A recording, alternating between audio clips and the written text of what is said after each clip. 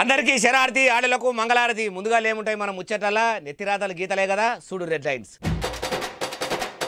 పాత పాలకుల పనితనం వివరించిండు రేవంత్ రెడ్డి గారు? కాంగ్రెస్ను గెలిపిస్తే మారుతుందట జంట నగరాల తీరు. తెలంగాణ రాష్ట్రానికి పెద్ద దుష్మానే కాంగ్రెస్ పార్టీ అట. పాత చరిత్ర మళ్ళా షార్ట్ కట్ల ఇనబెడుతుండు కేసీఆర్ నోట. కాంగ్రెస్ పార్టీ చేస్తున్నదట తెలంగాణకు అన్యాయము. దేవుళ్ళ పేర్లు చెప్పుకొని చేస్తున్నదట రాజకీయము. ఎన్నికల బీఆర్ఎస్ ఓడిపోతుందని ఉన్నదట ధీమా. కోమటిరెడ్డి వెంకటరెడ్డి చేస్తాడట పదవికి రాజీనామా. సోషల్ మీడియాలో ఫుల్లు పాపులర్ అయ్యింది బర్రెలక్క. నామినేషన్ వేసింది అచ్చం రాజకీయ నాయకుల లెక్క. హైదరాబాద్కు కృష్ణానది నీళ్ళు తెచ్చింది ఎవలు? సికింద్రాబాద్కు గోదావరి జలాలు తెచ్చింది ఎవరు జంటనారాల దాహాన్ని తీర్చింది ఎవలు? అంతేకాదు మెట్రో రైలు ఎవరు తెచ్చిర్రు? అంతర్జాతీయ ఎయిర్పోర్ట్ను ఎవరు తెచ్చిర్రు? ఔటర్ రింగ్ రోడ్డు ఎవరు తెచ్చిర్రు? ఐటీ కంపెనీలు ఎవరు తెచ్చిండ్రు? ఫార్మా కంపెనీలు ఎవరు తెచ్చిర్రు? ఎవరు తెచ్చిర్రు అంటారా? ఇక చెప్పుడెందుకు ముఖ్యమంత్రి రేవంత్ రెడ్డి సారే చెప్తుండు ఇందాం పారి. సూటిగా సవాలు విసురుతున్నా. మొన్నటి వరకు మున్సిపల్ మంత్రిగున్న కేటీఆర్ అయినా కేంద్ర మంత్రిగా ఉన్న కిషన్ రెడ్డినైనా.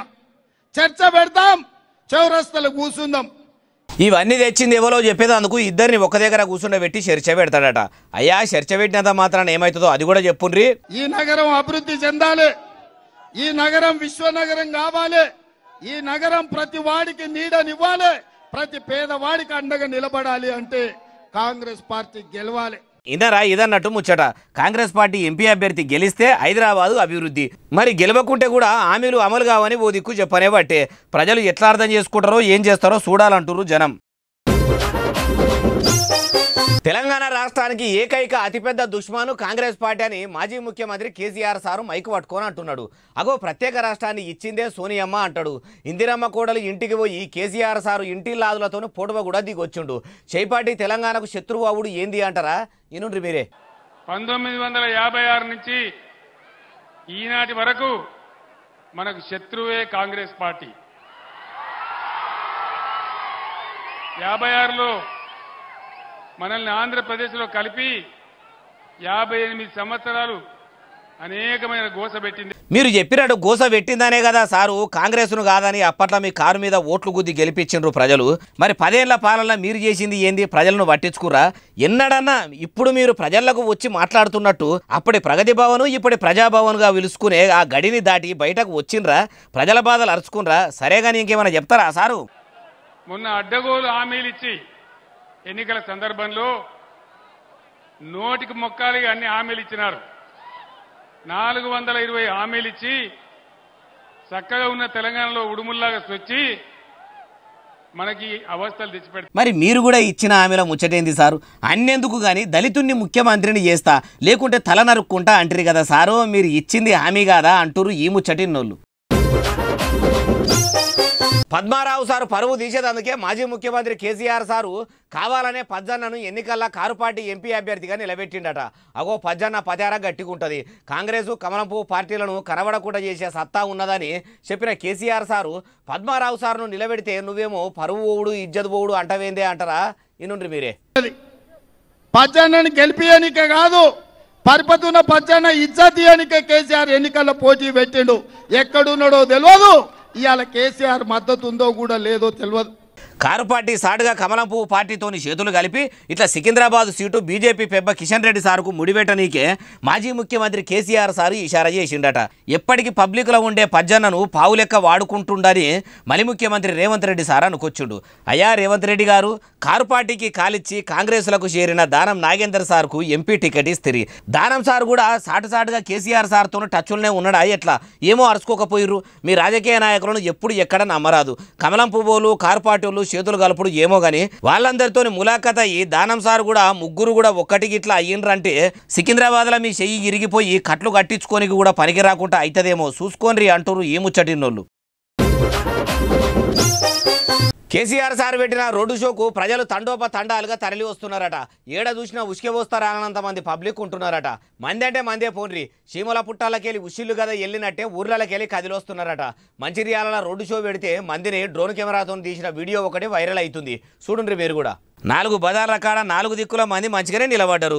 గులాబీ తోరణాల కింద పెద్ద గుంపు బాగానే నిలబడ్డట్టున్నది కదా. ఇంతమంది జనం కేసీఆర్ సార్ స్పీచ్ ఇనేందుకు వచ్చిరంటే ఏమనుకుంటారో అనుకోండి.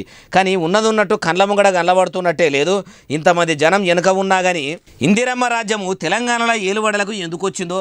అది సరే కానీ కాంగ్రెస్ ఏలుబడిలా రాష్ట్ర ముఖ్యమంత్రిగా ఉన్న యనుమల రేవంత్ రెడ్డి సారు ఏడ మీటింగ్ పెట్టినా టెంట్లేసి కూలర్లు పెట్టి కుర్చీ లేచినా కానీ పబ్లిక్ రాకుంటే ఎట్లున్నదో చూడరు పరిస్థితి. ఇక్కడ ఉన్న ఉన్న పోలీస్ డిపార్ట్మెంట్కు నా స్పెషల్ రిక్వెస్ట్ ఏమిటంటే అక్కడ బార్కేడ్స్ లోపలికి ఓపెన్ చేస్తే ఆ ఖాళీ కుర్చీలన్నీ కూడా నిండుతాయి దయచేసి ఓపెన్ చేసి కూసినందుకు విరిచిన జనం రాక కాంగ్రెస్ లీడర్లే బారికేడ్లు తెరిచి ప్రజలను లోపలికి పంపిరని పిలుస్తున్నారు కానీ ఈడ కుర్చీలు టెంట్లు లేవు. అయినా ఇంతమంది వచ్చిర్రంటే ఏందన్నట్టు మీరే చెప్పాలి.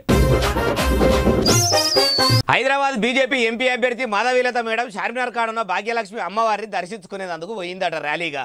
మరి అమ్మవారి దర్శనం మంచిగానే చేసుకుందా? ఆ మేడం వెనకపోవడం పోయిన వాళ్ళందరికీ కూడా ఆ తల్లి దర్శనం మంచిగానే అయిందా? ర్యాలీ ఎట్టెట్లా సాగింది? మాధవీలత మేడం కూడా ఏమేం మొక్కున్నదో అన్ని అరుచుకుందాం పరి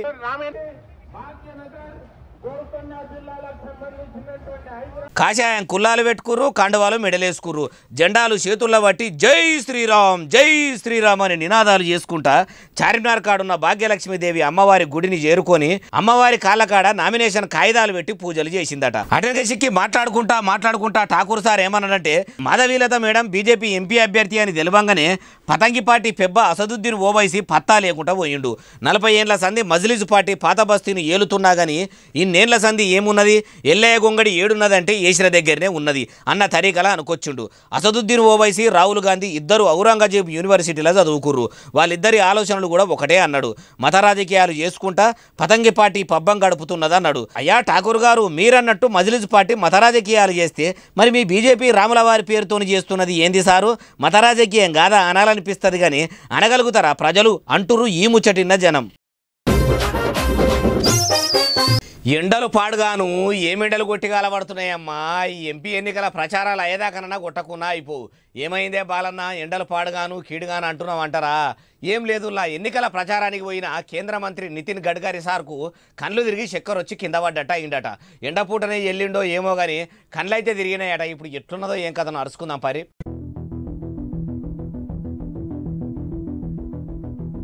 అయ్యయ్యయ్యో తమాము క్యాలెనే లేనట్టు కళ్ళు మూసినట్టున్నాడు కదా సారు. ఆడున్నోళ్ళు అందుకొని ఆయనతో అదే స్టేజ్ మీదకి వెళ్ళి పక్కకు తీసుకపోతే డాక్టర్ ట్రీట్మెంట్ చేసిండట. ఇప్పటికైతే పానాపాయం ఏం లేదు. ఎండలు బాగా కొడుతున్నాయి కదా. అందుకే జర కళ్ళు తిరిగినట్టున్నాయి కావచ్చు. ఎవరేం భయపడకుండ్రి. మళ్ళా మామూలు మనిషి అవుతాడని డాక్టర్ ధైర్యం చెప్పినాక అప్పుడు అందరూ షాతి నిండా శాంతంగా గాలి పీల్చుకున్నారట. నీ ఎన్నికలు చల్లగుండా ఈ ఎండాకాలంలోనే రావాలనా? అనుకున్నారు కావచ్చు. నితిన్ గడ్కరీ సార్ను ఇష్టపడే కమలయ్యలు. మరి కేంద్ర మంత్రి ఉన్న గడ్కరీ సారు కళ్ళు తిరిగి పడిపోయింది ఏడనంటే మహారాష్ట్రాలున్న పుసాదులనట.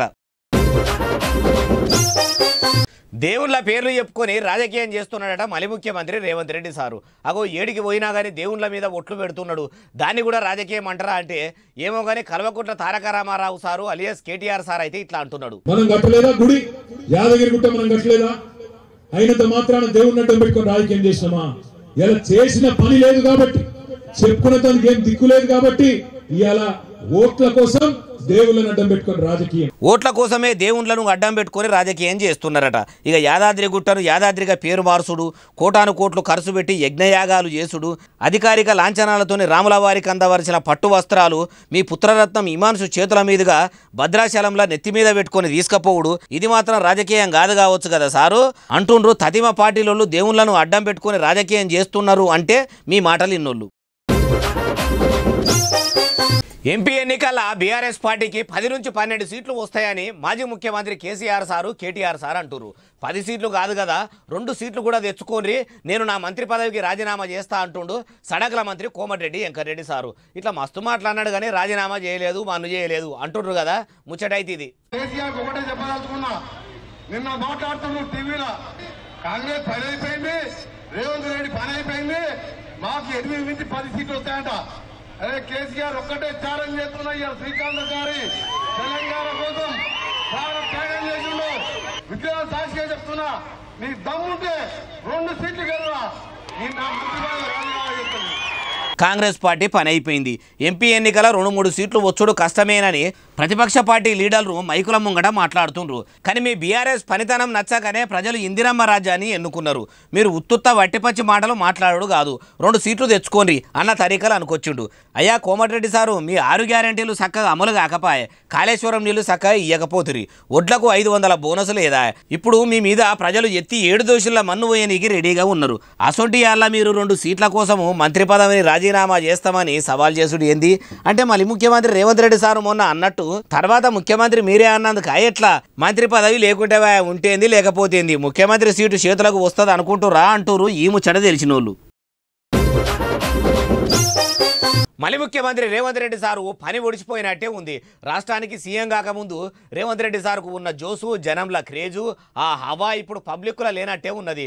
మాజీ ముఖ్యమంత్రి కేసీఆర్ సారు పరిస్థితి ఇప్పుడు మళ్ళీ ముఖ్యమంత్రి రేవంత్ రెడ్డి సార్కు వచ్చినట్టే అనిపిస్తున్నది. అగో అట్లాంటున్నది ఏందే బాలన్న అంటారా? మీరే చూడుర్రి. இந்த ராமநாயனா చూసినరా ఖాళీ కుర్చీలు తప్పితే పబ్లిక్ అయితే కనిపిస్తలేరు.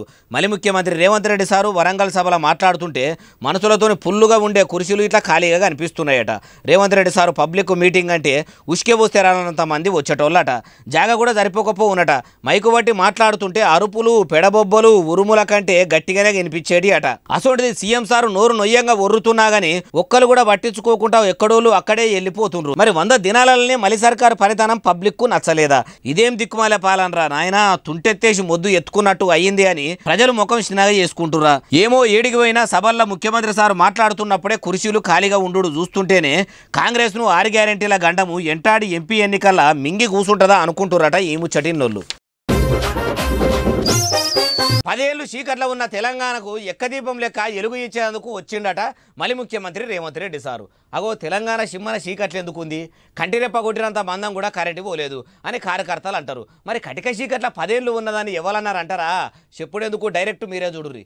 పదేండ్లు చీకట్లలో ఉన్న తెలంగాణకి మండే సూర్యుడిలాగా వచ్చాడు మన రేవంత్ అన్న పదేండ్లు చీకట్లలో ఉన్న తెలంగాణకి మండే సూర్యుడిలాగా వచ్చాడు మన రేవంత్ అన్న. బంగారు తెలంగాణ కోసం సావుకు భయపడక ఢిల్లీ మెడలు ఉంచి రాష్ట్రానికి బంగారు బాటలేసింది బదాలు సాపు చేసింది మా కేసీఆర్ బాపు అని మీడియా ముంగట చెప్పిన కడియం సార్ గౌరాల బిడ్డే కడియం కావ్య మేడము కారు పార్టీకి కాలిచ్చి కాంగ్రెస్ పార్టీలో షరీక్ అయినాక ఇట్లా మలి ముఖ్యమంత్రి రేవంత్ రెడ్డి సారును సూర్యుడు చంద్రుడు అని మొగులు మీదకి ఎత్తుకొని మాట్లాడితే గమ్మతనిపిస్తున్నది కదా.